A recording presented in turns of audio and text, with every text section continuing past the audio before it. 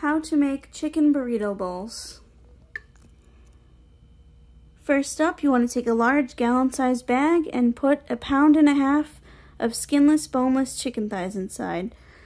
Mix with two tablespoons of chipotle and adobo sauce with some sauce that adds extra kick. A half a lime or about an eighth of a cup of lime juice. Two tables two tablespoons of oil. One teaspoon of onion powder. One teaspoon of garlic powder. Half teaspoon of cumin. One teaspoon of oregano and salt and pepper to taste. You want to let this sit for roughly 24 hours, which is why I did mine in advance. Mine's been sitting for just over a day. Coat a large skillet with about a tablespoon or two of oil. Carefully remove your chicken from the bag and cook on one side for about 8 to 10 minutes. Cook on one side for about 8 to 10 minutes. On medium so you don't burn it. While our rice is cooking, we're gonna, well, I mean, while our chicken is cooking, we're gonna move over to our rice. Heat about a tablespoon of oil in your pan and add one cup of rice. Toast for about three to four minutes until golden. Be careful not to burn it. Going back to our chicken real quick, when you've cooked it for about eight to 10 minutes on one side, carefully flip it over and cook for another uh, eight minutes on the other side. Back to our rice mixture. When it's nice and golden, you're going to mince three to four cloves of garlic and add it to your rice. And toss it for another minute just to get everything all married and mixed together. Once you've stirred your garlic and your rice for a minute, you're going to add two cups of chicken broth to your rice.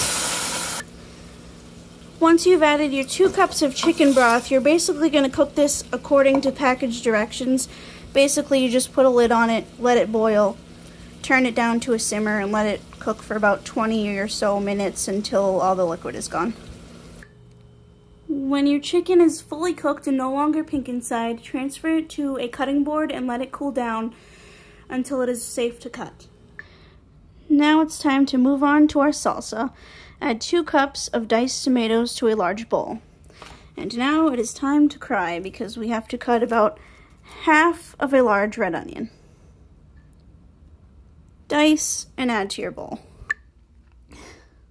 I'm not crying, you're crying.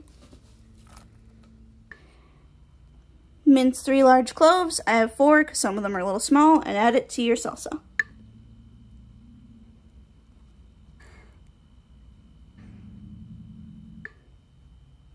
Add an eighth teaspoon of cumin to your salsa. Roughly chop up about a fourth cup of cilantro and add it to your salsa. Add salt and pepper to taste. Give everything a real good stir. Let your salsa rest in the fridge until you're ready to eat. When your rice is fully cooked, you are going to roughly chop up three tablespoons of um, cilantro and add it to your rice. To this, you are also going to add two tablespoons of lime juice. Give this a real good stir. Set your rice to the side till we're ready to eat. When your chicken is cooled down and safe to cut, cut into bite-sized pieces.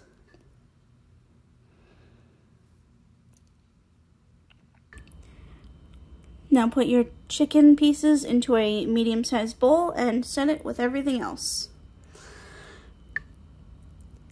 I also rinsed and drained a can, uh, one 14 ounce can of black beans. Now as far as assembling your burrito goes, you want to add some rice, beans, chicken, salsa,